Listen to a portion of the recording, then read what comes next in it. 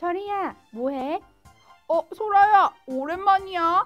음, 나 지금 책 읽고 있어. 와, 철이 너 지난번에 도서관 다녀오더니 책 자주 읽네. 그 책 무슨 책이야? 오, 이 책 Elephant and Piggie 책이야. 와, 재밌겠다. 같이 보자. 그래, 그래.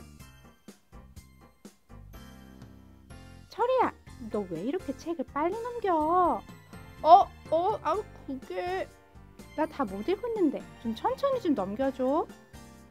아, 그게 사실은 나 그림만 보고 넘기는 거야. 아직 글씨 읽는 법을 몰라서. 뭐라고? 아이고, 너 알파벳은 아니? A, B, C, D 이렇게 하는 거. 아, 아, 그게 사실은 자꾸 까먹어. 나 좀 도와줄래? 알았어, 도와줄게. 따라해봐. A, B, C, D, E, F, G. A, B, C, D. 아, 그 다음에 뭐였지? 아, 어려워. 다시 잘해보자. 시작. A, B, C, D, E, F, G. A, B, C, D, E, F, G.